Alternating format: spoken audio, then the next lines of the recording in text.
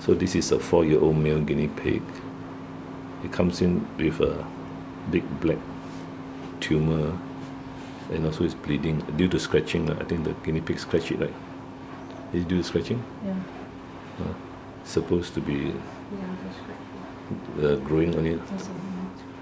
the last one month, right? So if it's growing so fast, over one month, now it's about 1.5 centimeter times uh, 1.3 times 5, 0.5 centimeter. So it's likely to be a melanoma, which is a cancer of the skin. And uh, other than that, it's eating well, right?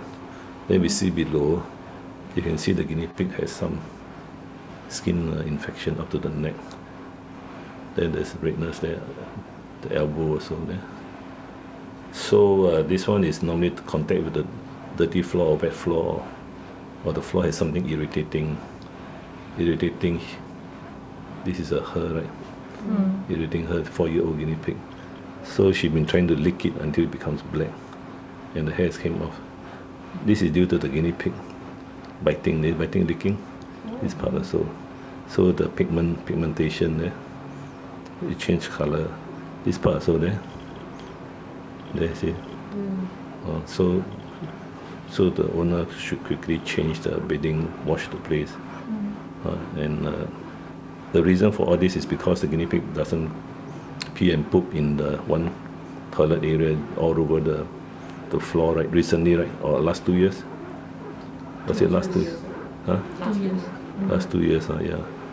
Then uh, now it got worse. Uh. Oh. This, especially this elbow here. This is bad. Mm. Then this side, uh, same thing also there. And it's very itchy. Uh, then they start to scratch further up there. Mm.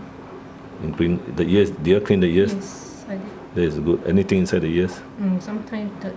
Dirt, uh, yeah, yeah. So yeah, you'll put the ear drop. yeah. Other than that, it's a very uh, good condition. Condition is good. Come see this side. It's not skinny. You know. It's not skinny. Stand and see. You can feel that it's not it's not bony. Uh, quite well. Uh, unusually good condition. So this I explained to the owner that most likely is cancerous and uh, we operate, uh, which might involve the ear being uh, gone as well. Uh.